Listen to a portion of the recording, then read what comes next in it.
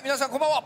こんばんは。馬長伝でございます、はい。えー今日はベルヤマックス北部店からお送りするわけでございますが、はい。えーこうベルヤマックス北部店といえばプレゼンバトルでございます。イエイ。えちょっと待った。プレゼンバトルで、見たことある？ないんですよ。ないです？ない。ないですと公言しましたけどこの女。ないんで勉強してこいよ。少しは勉強してこい。体当たりで挑むタイプなんで。あそうなのはい。本番で。そうですそうです、あいつは嘘つきだねやっぱりね。じゃあ嘘つきとゆうちゃんは？ゆうちゃんはもちろん勉強してきましたよねプレゼンバトルについて。勉強というか先輩の勉強をしてさしてあこいつも分かってないよ、ね、こいつも分かってないよ。あのプレゼンバトルっていうのはね、はい。まあ、あのペアになったり個人戦になったりして、えーまあ、視聴者の方にいかにこう、まあ、実践的にこう伝えて、まあ、ためになる人は誰なのかみたいなバトルなのよ。そうなの。あのね、勝った負けたは関係ないのよ。そうそうそう、う。ん共感した人なるほど。にみたいな。そうそう。そんなバトルですね。うん。でそれで今日のお題はと言いますか、はい、はいえー今までやったことありません。ありません。崖っぷち。1万ポイントバトルをします。1万ポイントよ、1万ポイントでパチンコ屋に行ったことありますか？ありますあります。もう1000ポイントでも全然。1000ポイントでパチンコ屋に行ったことありますか？ポイントってすごいね。大バカタレですよ。なかなか行かないね。1000ポイントじゃねいやパチンコはあるあるですよ。行ったことある？ありますよ全然。嘘。最後だ。いや最後の1000ポイントで1パチとか5スロとか。いや最後の1000ポイントは分かるよ、う1000ポイントだけを持って家から行ったことある。あそれはないです。ほらないよ。さすがに3000ポイントぐらいまで。けどでもさ増やしてけど買います今回は1万ポイントなんでしょ？1万ポイント。1万ポイントだったら結構あるんじゃないの？いやそれはあるね。ねあるよね、うんうんじゃあナギは？はい、私よくあるのが。買い物に行って衝動買いしてしまっていっぱいの荷物を見て後悔するんですよ。でや財布見てやべあと1万ポイントだ。増えないかな？と思って行くことが多いですね。じゃあそれ品物代金をパチンコ屋で回収しようという作戦やね。そうそう。いう作戦やね。そうでもよくあるなまあ私、確かにね、うあの買って後悔することあるもんね。ありますよね。うん。ドラゴンは？俺ね逆逆っていうかちょっと違って、うはい。例えばさ1万ポイントだけを握りしめてねはい。パチンコ屋さんに行くことってまあまああんまりないと思うんです、うんうん。お財布の中にいっぱいあって。うん。でパチンコ屋さんで負けてしまった、うん。残り1万ポイントっていう形にしようかよく、まあ。これはよくあると思うんです。よ、まあまあ、まあ、るでしょ？れも崖っぷちよね。そうだよ。3万ポイント持ってってさ、2万負けてしまった残り1万ポイントだっていうところの立ち回り方。これまあ。違うと思うのよ、そうよね。全然確かにね、うんまあまあそういうところで今日はやりたいと思う、いいかな、分かった？はい。それじゃあ崖っぷち1万ポイントバトル頑張るぞ！おう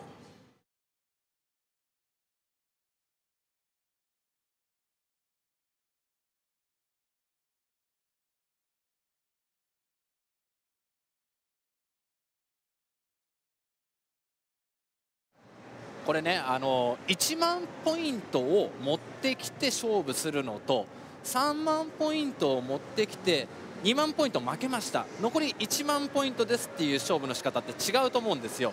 というのは結局同じ1万ポイントだけどもこっち側の3万円から2万円負けている、ね、3万ポイントから2万ポイント負けているっていう方は負債があるわけです、ね、1万ポイント1万ポイント同じだけども立ち回り方は違います。こっち側の1万ポイントしか持ってきてない場合の立ち回り方は今日はしないで、えー負債が抱えている状態での1万ポイント。つまりですよ元を取らなきゃいけない。あの巻き返さなきゃいけないということでここから少し保身に走ったら結局そのまま終わってしまうパターンが多いんですよ。なので一発勝負いきます。はい。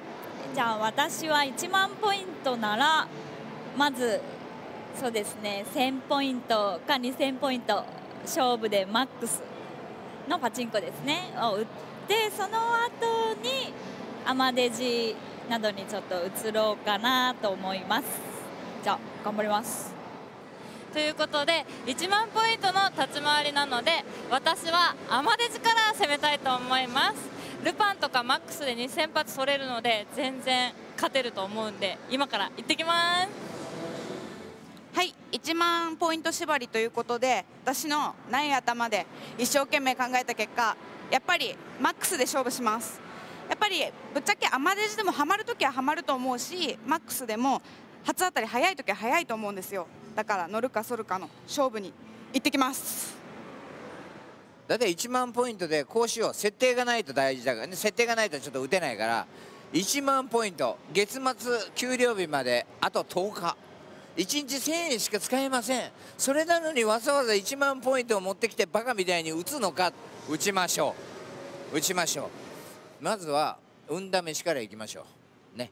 だからアマデジであわよくば2000ポイントぐらいで引っかかればそのまま続行。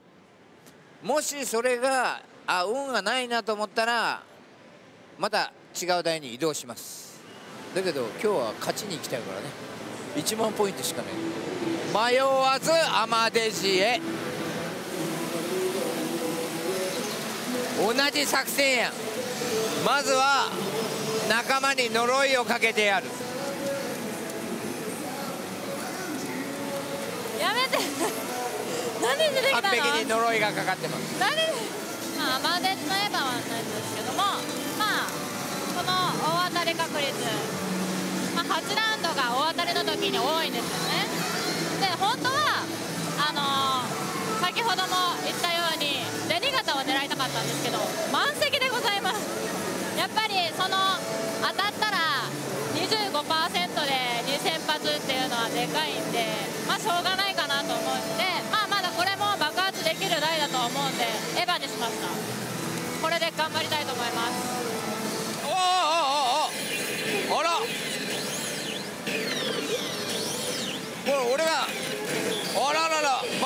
なってますよこれ。これまあなんで争点にしたかっていうのをちょっとまあ当たる前に語ろうかね。まずこのサミーさんのゲージっていうのはいいゲージなのよ。だからこのゲージがいいサミーさんを打てばまあちょっとは回るんじゃないかというところでおわーいったったこれ当たりでしょこれ。できれば当たったところゆみちゃんに見てもらってがっかりしてもらいたいな。外れってみたから俺はちゃんとあそこに呪いを置いていたから、はい。えーあなたはかかりません、はい。ね俺は当たります。呪いが返しできました呪いを。呪いいりません。これで外すのが壁にいいでしょ俺は絶対外れないから。はいありがとう。あちょっと待ってからのからのあそうです。長らくお待たせいたしました気持ちいい。いや呪い返しに来たつもりだったんですけどまあこれはこれでいいもの見れたからいいかな。空き台の中でもう1万ポイントで勝負をするってなるとここ現実的に考えてこれでゴッドを引こうというところよりもですよ。400台のヘルを狙っていった方がヘルゾーンを狙っていった方がここ現実的じゃないですか。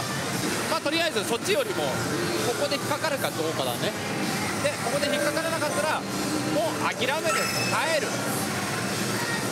これがいいと思います。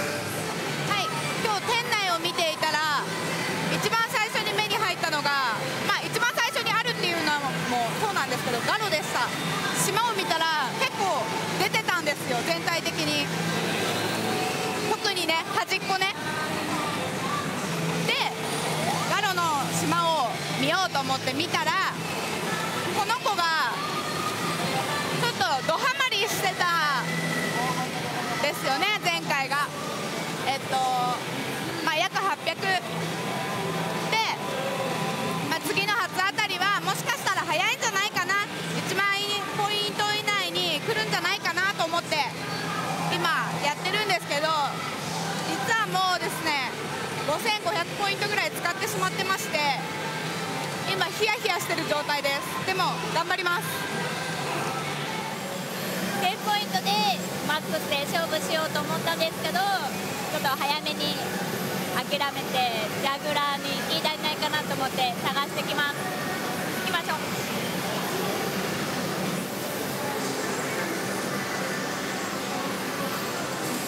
こちらのアイムジャグラーを選びました。ついてきてるし1回ちょっとハマったんですけど設定が良くても20回に1回は400以上ハマるっていうのがあるのでちょっと打ってみたいと思います。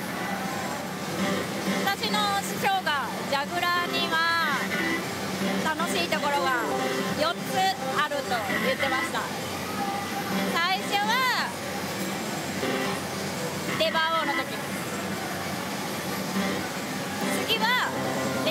でボタンが光った時。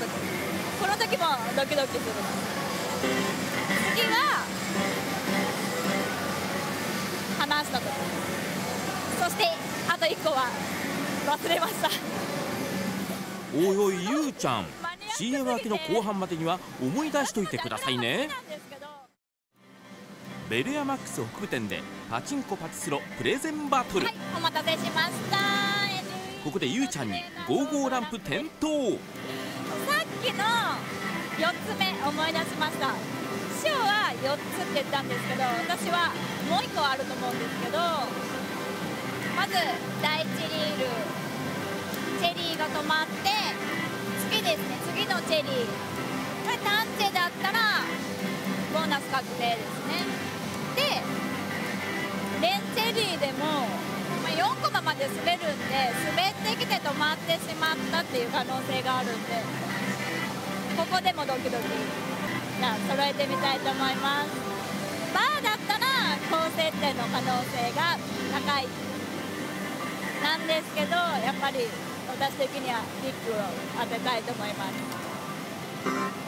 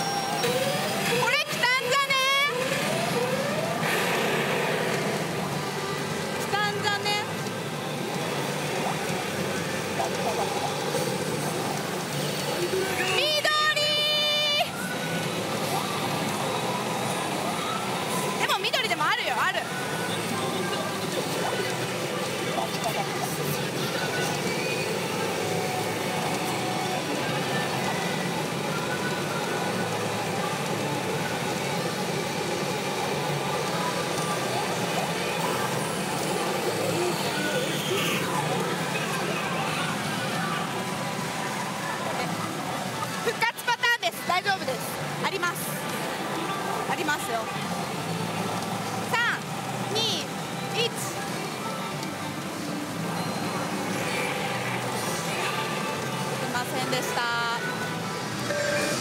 なんかもうこの時点で煽りがないんで終わってしまっているような気もしない。でもないスルーだなこれ。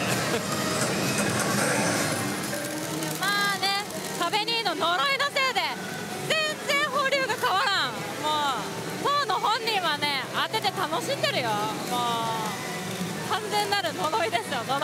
本当に。もうねここまで来るのが大変だけどここまで来たらもう終わらない。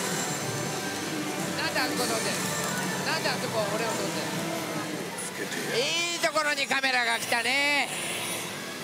はい今から、え5連チャン目の当たりの映像誰か当たってるの？俺ぐらいじゃない？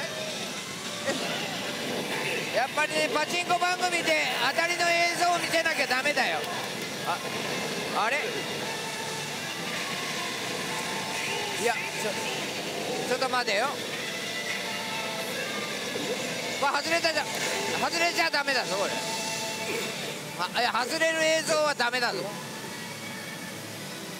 ダメだぞ外れる映像は。ちょっと。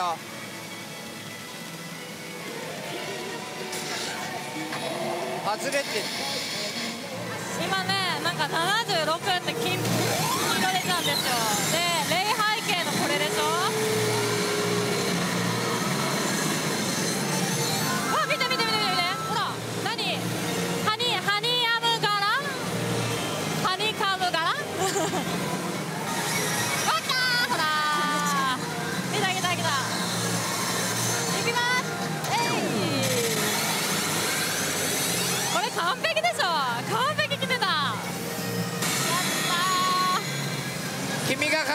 瞬間に、俺は ST が終わったよ。ー 呪いだ呪いが解放された。あのぶっちゃけて、えー俺はあのアマデジオ1000ポイントで約1箱半出まして本当はマックスに行くつもりだったの。もうついてる時はそんな流れだからね。だけどなんかゆみちゃんの見たらいけないものを見てしまったんで 今日は勝ち逃げしますはい結果発表。お疲れ様でした。まああのいいプレゼンができたかな。まあ新米側に2人も入ってるからね。そうですね。まあ微妙なとこなんですけど、まあみはい。俺全然見てないから誰が誰がなんでどうなったのかさっぱりわかんない、わかんない。そしたらちょっとねあのーゆみちゃんからはい。自分の立ち回りと状況、はい、はい、ちょっと教えてもらおうかな。そうですね。とりあえず結果だけ言いますと、投資が9500ポイントの回収が2万800ポイントでした。マジでそんな出たそんなん出た。だって俺の後ろで打ってて もうあの残り1万ポイントでしょ、はい。あの9500ポイントまだ見たのよ、もうその時は泣きそうな顔してたから、なんか当たったのは見たんだよね。はい。それってプレゼン的には、はい。なんか視聴者の人が、ああゆみちゃんそれ共感できるよとか、うんうんあこういうとこちょっと学ぼうとか、はい。そうそこが大事だからね。あそうですね。私の中のポイントとしては前日結構で当たりが連続して続いてる台プラスハマりが結構少ないデータ的に。ハマりが少ない台が狙い目かなと思って。じゃあゆいちゃんは？はい。結果から言うと2000ポイント使って回収が6000ポイント4000ポイント勝ちです。4000ポイント勝った。の勝ちました。最初は、マックスのルパン。消されたルパンを打ってそれ勝負で1000ポイントで勝負しました。でも1000ポイントでちゃんと諦めて次にアマデジに行こうかなと思ったんですけどちょっとジャグラーの方にいいんじゃないかなっていう台を見つけたので、抑えの。おおいいじゃん。いやいいじゃんじゃなくて、まあだからその機種が多いところを狙ってた、あの攻めろとか、はい。ねジャグラー行けとかそういうのはパチオネで学んだんでしょ？そうですね。絶対嘘だよ。でもさでもさトータルプラス収支なんだよ。ですよ。だから立ち回れてんだよちゃんと。ですよですよ。それノンノンボーイです。ノンノンボーイって何？ノンノンて何いやプラスでやったらいいっていう問題じゃない。だからドラゴンがオープニングでも言ったでしょ。今回のプレゼンバトルは毎回そうですけど勝ち負けではない。そうなんだよ。せどう説得できるかだからそうそうそう。説得力があるかね。なるほど、ね。何は途中でやめたの。やめてないですよ。ちゃんと1万ポイント、え1万ポイントをどうどう今日えー結果発表をいたします、はい。投資が1万ポイント、はい。回収が0ポイント。でしたけども。これこれな何？これなんか自腹バトル風に感じで 本当だ。ごめん違うよそういうことじゃないんだよ。そうだよね。そう。プレゼンだもんね。そう。だから私は何が伝えたかったかです私は何万ポイント持とうがマックスがマックスなんですよ私が行くのは結局。思ったのがアマデジもハマるときはハマるじゃないですか。でマックスも初当たり引けるときは早いときに引けるわけでだからもう運かなと思って1万ポイントしかなくてもここは勝負に出ようと思ってマックスに行きました。まあはっきり言ってあと3年後に人生潰すタイプ。なんで？まあでもそういう方たくさんいらっしゃると思うんですよね。まあ私はもうこんな結果でしたけどドラゴン聞いてみます。負けたよ。負けた。負けたよ9000ポイント負けた。ん何言っゴッド。アナゴ。じゃあちょっと僕のプレゼンをさせていただきます。あのね今回は3万ポイントを持っていって2万ポイントを負けたと。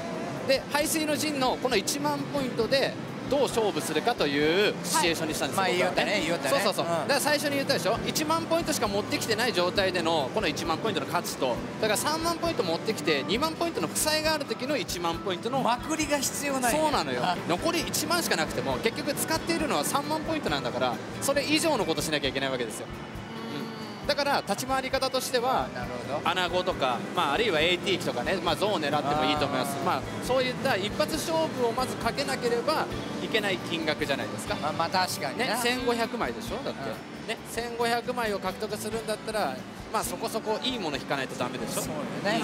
そうなんですよ。だからあの1円あの1円にねこうね1万ポイントって言っても立ち回り方は違うとだからや負けてしまったは負けてしまいましたけども例えばそれを10回やったうち1回でも例えばそこで5000枚出ましたとかだったらまあそれはねそれでいいじゃないまあまあ確かに誰か何物いいドラゴンに物いい言う人いない。の物いいないでしょ。大丈夫です。特に特に問題はありません。こいつ聞いてなかったんです。